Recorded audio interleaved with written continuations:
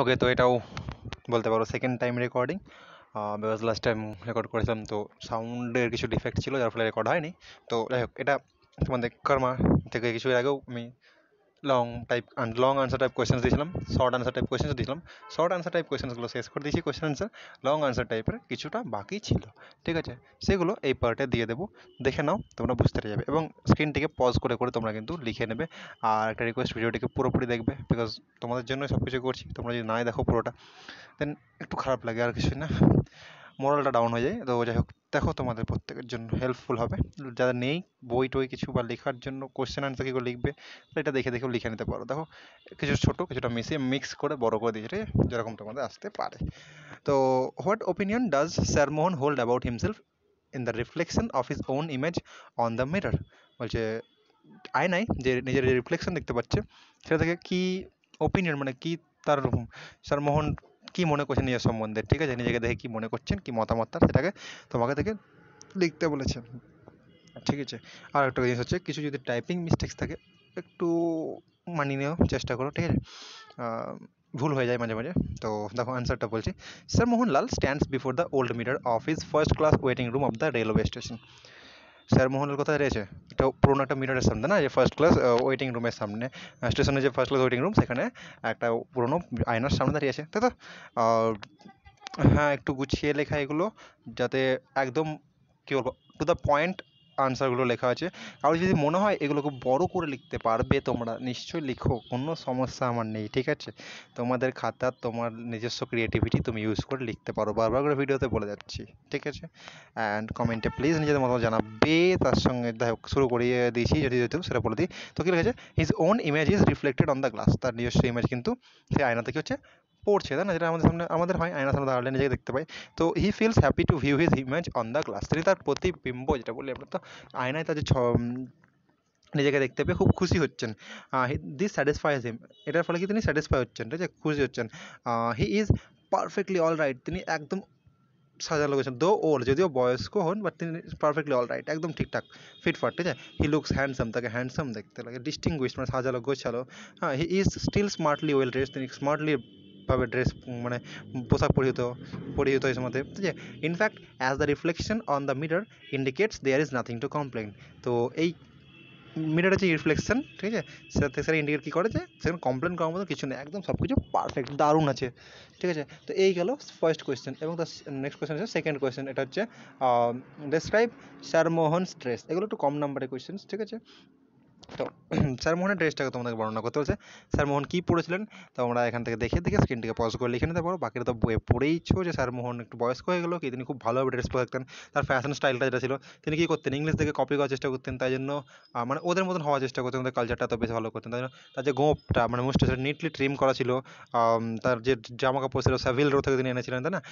Button হোলটা carnation করা ছিল button হলে তিনি স্কটিশ বেলিওল টাই পরতেন এবং আরও অ্যাট্রাক্টিভ করার জন্য কী করতেন নিজেকে? তিনি অ্যারোমা মানে এক প্রকার পারফিউম ইউজ করতেন যেটা হচ্ছে eau de cologne talcum powder scented soaps এগুলো তিনি ইউজ করতেন, তাই না? এটাই এই এতে বলা হয়েছে ডিসক্রাইব করা হয়েছে ভালো করে। তোমরা দেখে দেখে লিখে নিতে পারো। লিখে নিও। Next question uh, narrate briefly Sir Mohanlal's actions and thoughts as he waited to board the that had, uh, that had already arrived. বলছি যখন ট্রেনটা চলে এসেছিল সেই ট্রেনটাকে তো স্যার মোহনলালকে বোর্ড করতে হতো না। স্যার মোহনলালকে মোহনলালকে সেই ট্রেনে চাপতে হতো। তো তার সেই সময়তে তারপর সেই সময়তে স্যার মোহনলালের যে থটস এবং অ্যাকশনসগুলো কী ছিল মানে চিন্তাভাবনা কী ছিল এবং তিনি কী করেছিলেন সেগুলোকে বর্ণনা করতে বলেছে। সো আমরা প্রত্যেক জানি যে এই কর্মা নামক গল্পটির যিনি হিরো স্যার মোহনলাল তিনি কী করতেন ট্রেনে চাপার আগে এক ছোটা মানে ড্রিঙ্ক একটা ছোটো করে ড্রিঙ্ক নিতে ভালোবাসতেন, তাই তো? ড্রিঙ্ক করতে পছন্দ করতেন। হি সহ দ্য টাইম তিনি টাইমটা দেখতেন, দেখেন দেখতেন দেখেন এবং কী হলো sank into large cane chair এবং একটা লার্জ কে মানে বড় একটা চেয়ারের মধ্যে বসে গিয়ে এবং ড্রিঙ্ক মানে কী করতেন ড্রিঙ্ক করতেন আরামের সঙ্গে অ্যাট হিজ ইজ ঠিক আছে?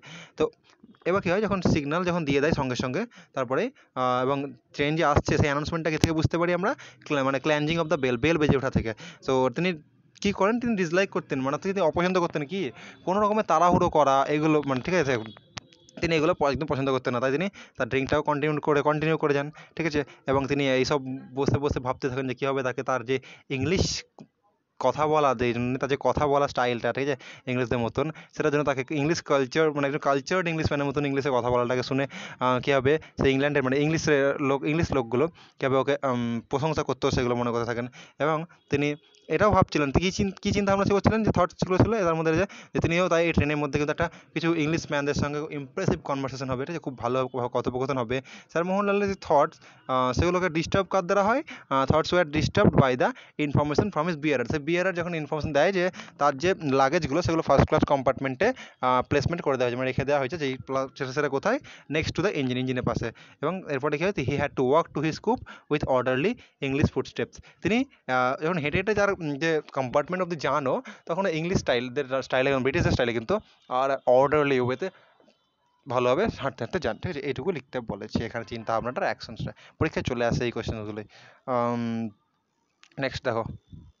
What did sir Mohanlal do after the arrival of the train train আসার পরে স্যার মোহনলাল কী বলেছিল? ওই জিনিসটা একই একই যেটা এখনই দেখলে সেই জিনিসটাই, ঠিক আছে? ওরকম করেই পড়ে দুটোকে মিক্স করে, এই দুটো কোয়েশ্চেনকে একসঙ্গে মিক্স করে কিন্তু আনসার করা যায়, ঠিক আছে? তো ভালো করে একটা স্ক্রিনটা পজ করে লিখে নিই ওটাকে পরে কিছু বললাম না। দেখো নেক্সট কী আছে? Narrate briefly the manhandling and humiliation of sir Mohanlal by two English soldiers সেই দুটো ইংলিশ সোলজারের যারা দ্বারা যে হিউমিলিয়েশন মানে অপমানিত হয়েছিলেন স্যার মোহনলাল ওই ওই জিনিসটাই মানে ঠিক আছে ম্যান হ্যান্ডেলিং করা মানে ওরা যেভাবে দুর্ব্যবহার করেছিল, সেটাকে, সেই সিনটাকে মানে পুরো জায়গাটাকে এখানে তোমাকে বর্ণনা করতে বলেছে। এর জন্য রিডিং পড়া খুব বেশি জরুরি। এখানে লেখা আছে এটাকে আমি ভিডিওটা ছোটো করে দিচ্ছি, কারণ বিশাল বড়ো করে রাখছি না, তো স্ক্রিনটাকে একটাই আইডিয়া বাবা দিয়েছি পজ করবে অ্যান্ড লিখে নেবে ওকে ওই জিনিসটা আমি বারবার আগেও যখন গল্পগুলো পড়েছি তখন বলে দিয়েছি। যে গল্পগুলো আমি পড়াবো না, পড়াতে পারব না ওকে সেগুলোর যখন কোয়েশ্চেন আনসার দেবো, সেগুলো আমি আনসার কোয়েশ্চেন আনসার কিন্তু পড়ে পড়ে বলে দেবো ওকে সো এগুলো তো পড়েছি, নাহলে ভিডিওগুলো একবার দেখে নেবে, আগে থেকে কর্মার যেগুলো আছে করেছি।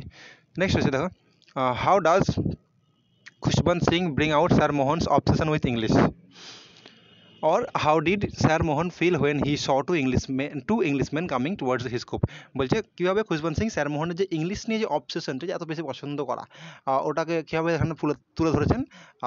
অথবা দিয়ে দিয়েছেন একই টাইপের প্রশ্ন যে স্যার মোহন কেমন ফিল করছিলেন যখন তিনি দুটো ইংলিশম্যানকে তার কম্পার্টমেন্টের দিকে আসতে দেখেন, ঠিক আছে? তার যে ট্রেনের কামরার দিকে আসতে দেখেন।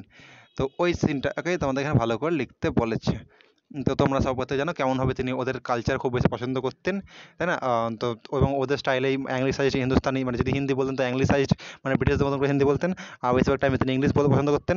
তিনি ইংলিশদের কালচার ইংলিশ ব্রিটিশদের সব কিছু পছন্দ করতেন এমনকি ওদের হুইস্কি থেকে শুরু করে সব কিছু এবং তিনি দ্য টাইমস পড়তে ভালো পড়তেন তবে অক্সফোর্ড কলেজ থেকে যে ইংলিশ শিখেছিলেন, সেখানে রাগবি ম্যাচেস করতেন, সেগুলো পিকাডিলি ও এগুলো সব কিছু নিয়ে প্রস্টিটিউটস যেগুলো আছে, ওগুলো নিয়ে মনে করে যার জীবনটা কাটাতে মানে উপভোগ করতে ভালোবাসতেন, ওগুলো গর্ববোধ করতেন, ঠিক আছে?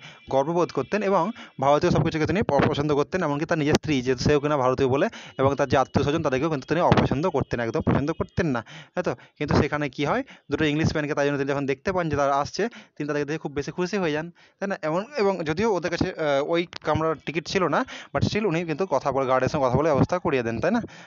তো বাট তারপরে কী হয় তোমরা প্রত্যেকে জানো যে ওদের দ্বারা অপমানিত হন এবং ওরা তাকে স্যার মোহনকে বাইরে ফেলেও দেয়, ঠিক আছে?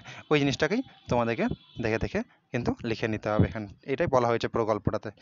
নেক্সট দেখুন নাম্বার সেভেনে discuss how far the title of the story Karma is appropriate কতটা কর্মা নামক টাইটেলটি অ্যাপ্রোপ্রিয়েট আমি ফার্স্ট যখন বড় কোশ্চেন ছিলাম, সেখানেও কর্মা যখন টাইটেল এটার সিগনিফিকেন্স বলেছিলাম। এটা ওরকমই বাট এটা একটু বেশি বড়। তো স্ক্রিনটিকে পজ করে করে লিখে নিও। আমি পুরো গল্পটা এর আগেও পড়েছি, তাই এখানে কিছু সেরকম কিছু বললাম না। বলতে আর ইয়ে করলাম না, ঠিক আছে? থাকল। হচ্ছে উত্তর। পুরোটা স্ক্রিনটাকে পজ করে রেখে জাস্ট টুকে নেবে। আর কিছু সেরকম কিছু নেই। এই ছিল কর্মা থেকে যতগুলো ইম্পর্টেন্ট কোয়েশ্চেন্স হতে পারে অ্যান্ড আনসার্স হতে পারে পারতেও বড় কোয়েশ্চেন শর্ট কোয়েশ্চেন আগে শর্ট কোয়েশ্চেন আগে দিয়েছি, বড় কোয়েশ্চেন কিছু আগে দিয়েছি, এটা ছিল লাস্ট পোর্শন তো সেটা এখানে দিয়ে দিলাম দ্যাটস ইট শেষ করলাম, ভিডিওটিকে ভালো লাগলে শেয়ার করে দিও প্লিজ লাইক করে দিও কমেন্টে জানিও কোনো সমস্যা থাকলে অ্যান্ড কিছু কিছু ক্ষেত্রে যদি ইংলিশ ওয়ার্ডস নিয়ে সমস্যা হয়, আমি একটা সত্য ঠিকঠাক বলেছি যদি কোনো মানে না জানো, কোথাও না পেলে গুগল ট্রান্সলেট বলে জিনিসটা আছে, ঠিক আছে?